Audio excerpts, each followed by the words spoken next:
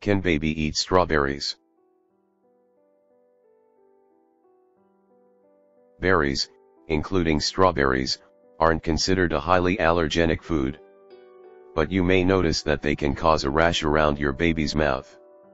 Still, if your baby suffers with eczema or has another food speak to your pediatrician before introducing berries.